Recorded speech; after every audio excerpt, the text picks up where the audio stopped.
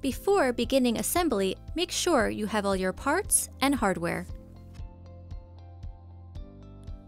Please note, do not fully tighten the screws until the chair is fully assembled.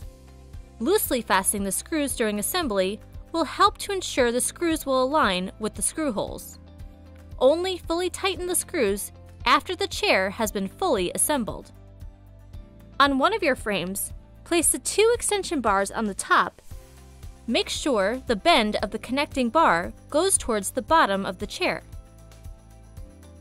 Next, slide in the second frame into your extension bars and connecting bar. Then place the frame upside down as shown here.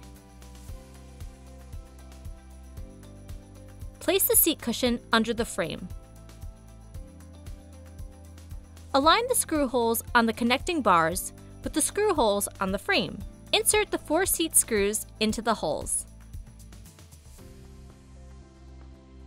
Then align the screws with the holes on the seat cushion. With a Phillips screwdriver, loosely tighten the screws.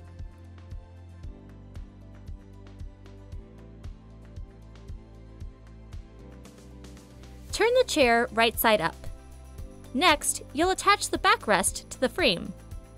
Align the screw holes on the frame with the screw holes on the backrest. Fasten the backrest with the included screws.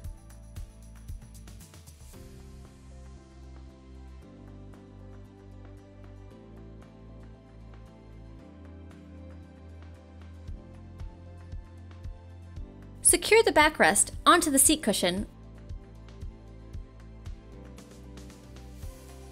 Now firmly fasten all your screws gradually in an alternating cross pattern.